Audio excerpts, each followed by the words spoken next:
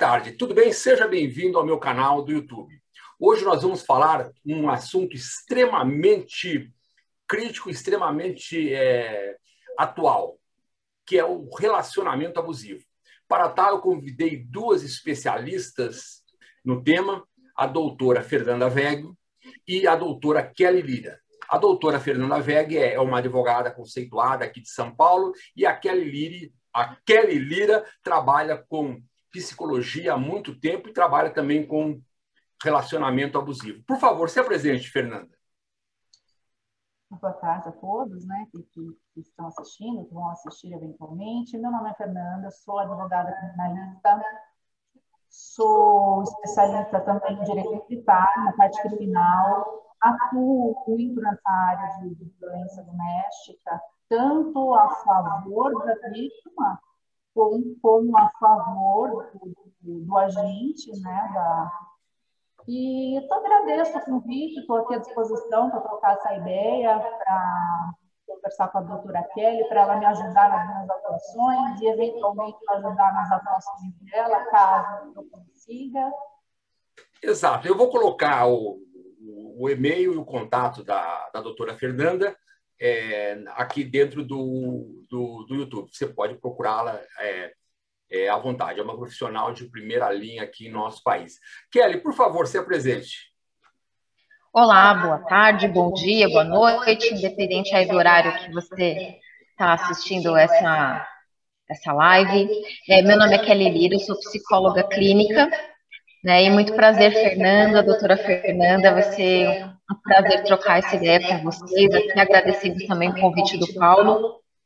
É, dentro da psicologia clínica, a gente recebe muitas mulheres né, com, com um diagnóstico de depressão, ansiedade, entre outras coisas, mas é comum a gente entender que às vezes esse diagnóstico ele é ocasionado por conta de algum relacionamento abusivo com o companheiro, né, e que às vezes se estende ao longo de muitos anos e aí depois traz sequelas emocionais gravíssimas que vão acompanhar essa mulher ao longo de muito tempo, né? Então acho que essa é uma conversa muito necessária, porque muitos desse, muitas dessas agressões elas tiram a vida das mulheres.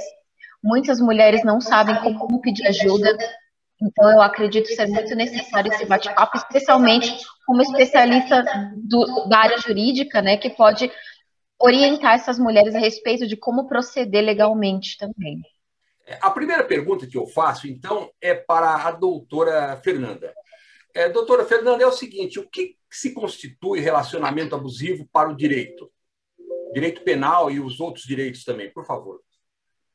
O relacionamento abusivo, sob, sob o ponto de vista jurídico, é aquele que ocorre qualquer tipo de violência, né, é, crimes ou contravenções contra a mulher, ou que tem a base, né, o, o gênero, que é o gênero feminino.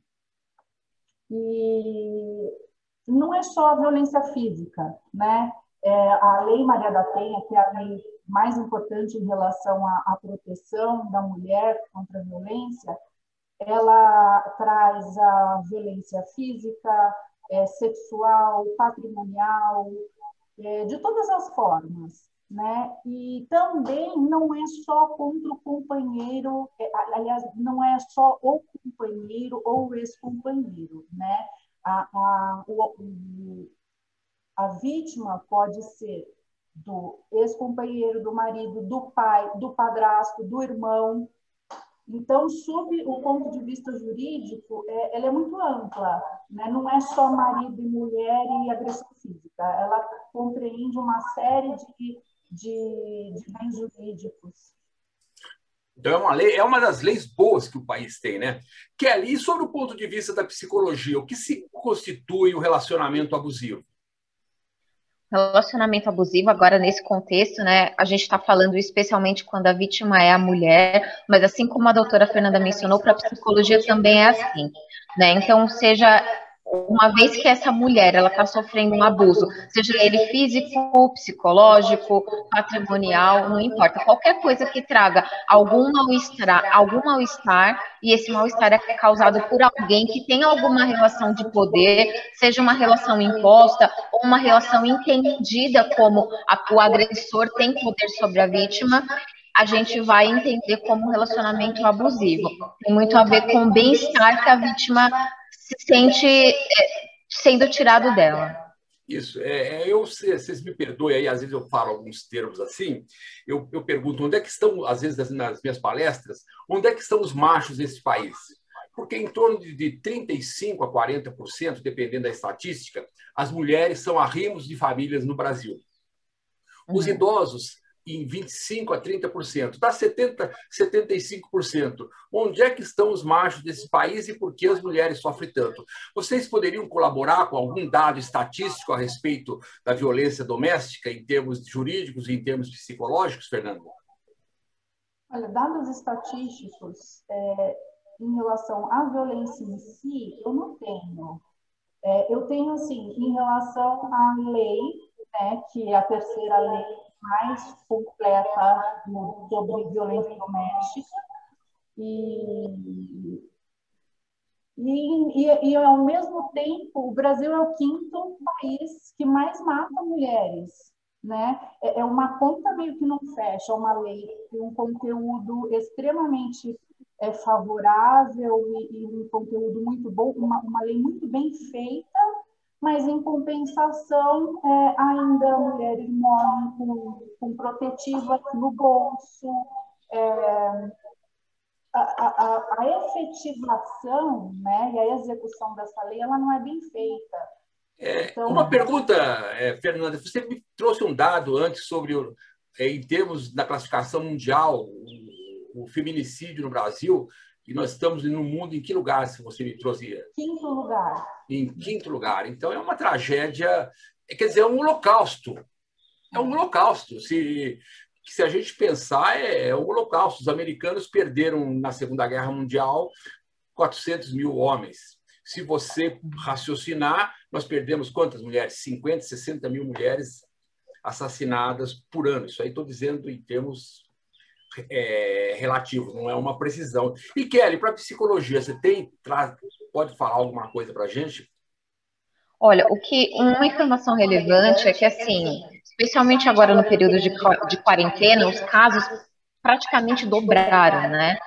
É, ainda existe uma incerteza com relação aos dados estatísticos, porque é, os, as pesquisas, né, esses dados, a forma como eles eram levantados o ano passado, antes de toda a reforma aí dos contatos telefônicos que poderiam acontecer as denúncias, eles aconteciam de uma maneira, agora eles estão, eles foram otimizados. Então, ainda não existem muitos dados precisos, mas entende-se que aumentou pelo menos o dobro de denúncias, e a gente acompanhou também isso acontecendo na China, né? Na China, isso já, come, já, já aconteceu antes do Brasil, porque a pandemia aconteceu antes lá, as pessoas ficando em casa mais tempo. No Brasil, posteriormente, isso aconteceu. Então, os órgãos já ficaram entendendo que existia uma grande chance do, dos casos de violência doméstica aumentarem. Então, Alguns números de telefone, alguns chats, alguns outros recursos foram criados para ajudar essas mulheres a procurarem ajuda, e esses, essas instituições relatam que os números dobraram, né?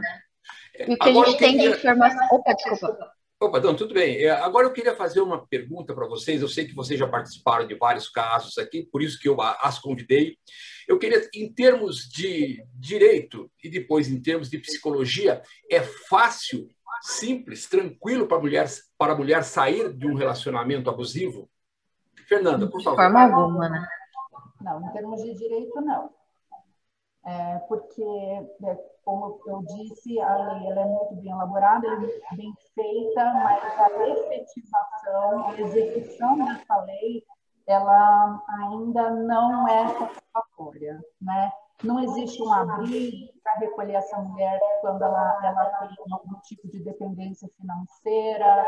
É, muitas medidas protetivas e mesmo assim são violadas, porque não existe é, um meio de controlar isso. É, que mais? Até a própria, a própria justiça, infelizmente, né? Eu, tive um caso que eu pedi uma medida protetiva é, dia 13 de dezembro de 2019.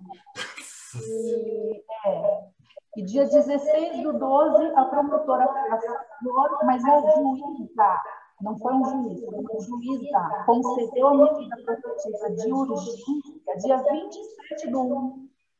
Era de urgência. Muita coisa acontece, né, doutora, nesse período. Exatamente. Os delegados, as autoridades oficiais têm autonomia para perceber protetiva, inclusive para os dependentes, para o filho, para o pai, não só para essa mulher, mas é, é, muito difícil também. Aconteceu um caso comigo, né, que é, eu fui num simpósio e lá uma, uma determinada agente de segurança pública falou muito sobre, ela foi incumbida de falar sobre a mulher, sobre sororidade, sobre a mulher precisar de uma ajuda. E, infelizmente, eu cheguei numa delegacia em que ela era Cheguei com uma mulher machucada. E, assim, a, a, a prática foi totalmente diferente da teoria. É, eu... Perfeito. O que nós estamos, para quem está nos escutando, nós estamos falando, estamos focando é, a, viol, é, a violência no, do, da mulher. E, evidentemente que nós sabemos que existe violência da, da mulher contra o homem, mas o, que, o ponto central da nossa conversa aqui é esse, entendeu? O abuso, o abuso físico, mental e psicológico das mulheres. Eu queria saber, em termos de Psicologia, Kelly, por, por favor, é possível, é fácil sair desse relacionamento? É fácil, é difícil, inclusive, perceber-se nesse relacionamento. Né? Muitas mulheres que estão em um relacionamento abusivo, elas demoram muito tempo para perceber que estão. Né? E isso ocasiona uma demora para que elas saiam. A outra coisa é que algumas dependências, como a, dependência financeira, que a doutora Fernanda mencionou, mas também a dependência emocional, a falta de autoconhecimento, inúmeras vulnerabilidades emocionais, faz com que essa mulher não veja meios de sair ou não se sinta capaz de construir esses meios para sair. Então, isso tudo gera uma dificuldade muito grande. É, agora eu pergunto, como é que o direito pode se unir à psicologia para aprimorar e para a gente levar esse processo de literalmente, entre parênteses, né, salvar, ou literalmente entre parênteses, ou salvar essas mulheres desse tipo de relacionamento? O que pode ser feito para unir a psicologia e o direito? O atendimento, psicológico, o atendimento psicológico é, é vital, ele é primordial para que a lei seja, não só a lei, mas a justiça seja, seja administrada naquele caso qualquer. Né? Existe lei que obriga o, o, o acusador, o agressor, a frequentar uma, uma questão psicológica é, com ajuda, até para ele perceber né, que ele está tá errado, que ele está como eu disse antes na questão do, do histórica, às vezes aquele agressor sofreu algum tipo de agressão e por isso quando ele, ele, ele responde, porque ele não vê diferença. Como ele foi criado naquele ambiente, ele não vê essa diferença, né? A, parte da mulher também, ela precisa de um apoio psicológico, como a doutora Kelly diz, é difícil ela perceber e, e, existe um ciclo, né? Que é o ciclo do, do, do, da briga, o, o, depois tem a agressão, e o terceiro a gente chama de mel. Quando ele se arrepende, pede perdão, jura que vai mudar, ela por medo, ou porque realmente acredita que isso não vai acontecer. E a psicologia ajuda a apontar, olha, vocês estão vivendo esse ciclo, né? A psicologia é, é, é é até muito mais importante do que qualquer outra coisa. Porque a gente não tem que curar, não tem que colocar o direito na causa, no efeito, mas a psicologia ela mexe na causa. Né? Esse é o meu. Perfeito. Kelly? Sim. O que, que pode ser feito para a psicologia se unir o direito? Eu acho que a doutora é, Fernanda fechou é, fechou muito bem esse tema. Agora eu vou entrar num, num, num, num ponto extremamente sensível da nossa, do nosso bate-papo aqui, que é o caso do doutor, do doutor Jairinho, é que vocês estão acompanhando aí a mãe está sendo é, acusada de ser conivente com o crime de, e até mesmo de participar do crime. Nós não temos todos os elementos é, à mão, nós não lemos o processo, entendeu? Então, é, antes de emitir qualquer as opiniões aqui são opiniões baseadas nos fatos que nós conhecemos, evidentemente que não julgamos, não condenamos, não absolvemos nem um dos dois. Entendeu? Quem está nos vendo tem que aqui é, o objetivo aqui é demonstrar a você que você passe a entender como é que funciona esse processo. E eu já recebi antecipando, eu recebi de várias, de, aliás, para ser mais exato, de três pessoas, duas que conviviam com a Monique, dizendo que ela era uma pessoa legal, entre parênteses. Não tinha um ser humano como qualquer outro. E uma no private, particular, que também disse que conhecia, teve relacionamentos e ela não, não era essa pessoa agressiva. Mandei a escrita dela, que eu trabalho com grafologia, para Europa, Estados Unidos e para alguns países da América Latina aqui, Uruguai, Argentina, é, México e Chile todos são unânimes em afirmar que a vaidade, egoísmo, egocentrismo e agressividade muito pouca. O que eu queria perguntar é o seguinte: em termos psicológicos, é, primeiro para a Kelly, pode ser feito um laudo sobre o abuso.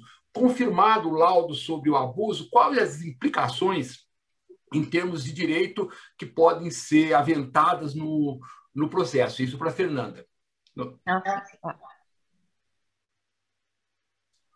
Kelly, então, vamos lá. O, pode ser feito um laudo, um laudo psicológico? Pode, pode ser feito um laudo, sim, né? É, bom, eu vou falar de casos em que uma criança sofre uma violência, né, por parte de um abusador, que é o companheiro, o marido dessa mulher, e é entendido que essa mulher pode ter sido conivente, né? Então, assim, sim, é possível ser feito um entendimento, um laudo, um diagnóstico, para entender se essa mulher, é, até, até, inclusive estou é, tirando isso um pouco totalmente do caso, mas obviamente pode ser relacionado ao caso, mas assim, pode ser entendido se essa mulher ela é tão vítima quanto a criança desse abusador, e dependendo do entendimento que se tem, isso pode levá-la ao, ao entendimento dela ser culpada, participante ou não, ou tão vítima quanto.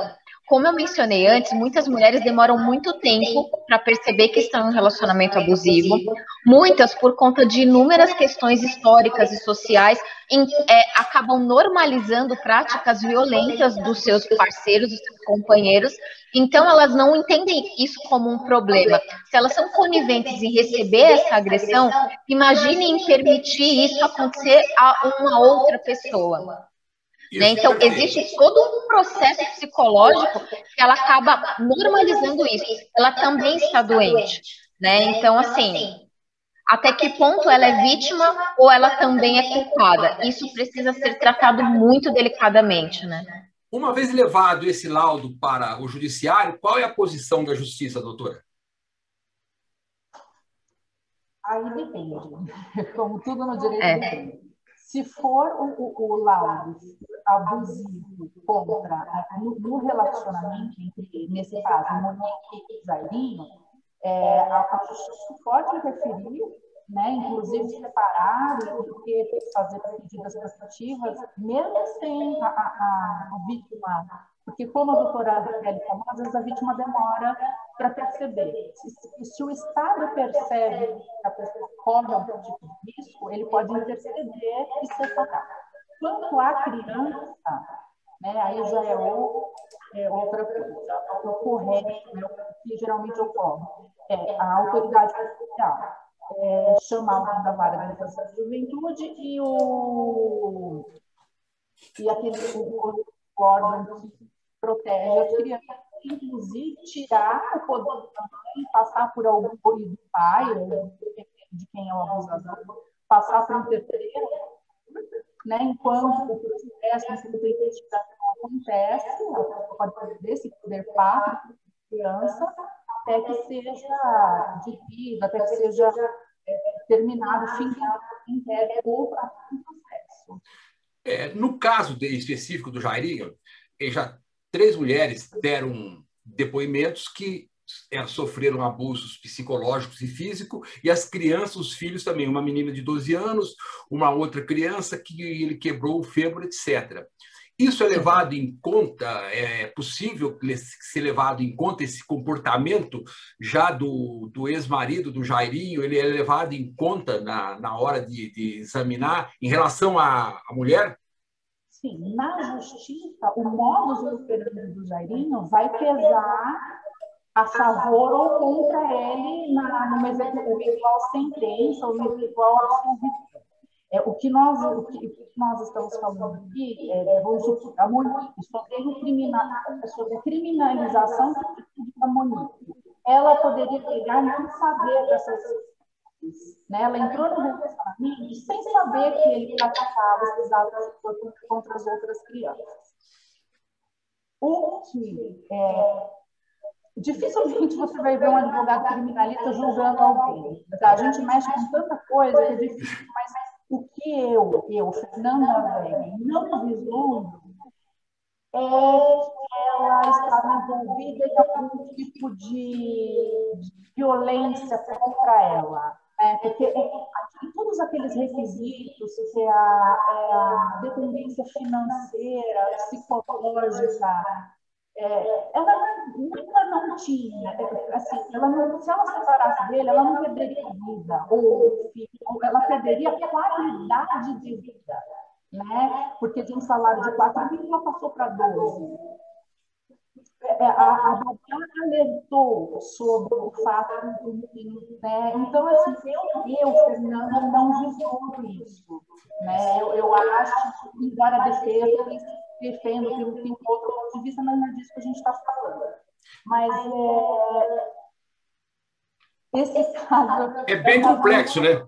É, é porque, na realidade, as pessoas estão julgando na base é, de, do desconhecimento da, da, da simplificação da simplificação do fato. Eu, na minha opinião de leigo, né, conhecendo pouquíssimo de direito, é, mas eu, eu participei de vários casos, é, pouquíssimo, eu digo um pouquinho menos pouquíssimo, né?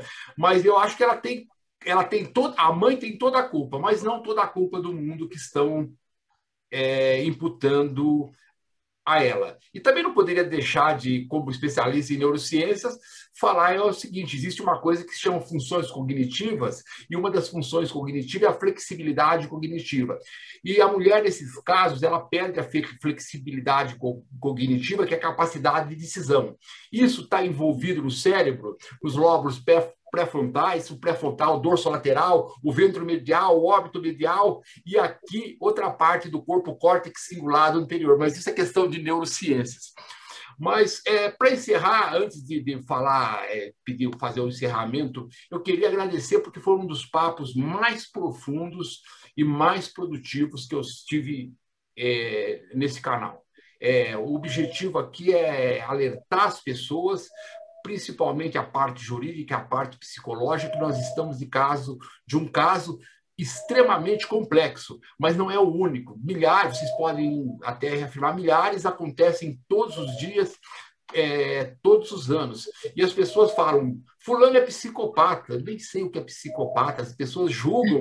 As pessoas do Brasil se transformam em doutores, especialistas em direito, especialistas em neurociência, engenheiros nucleares, do dia para a noite.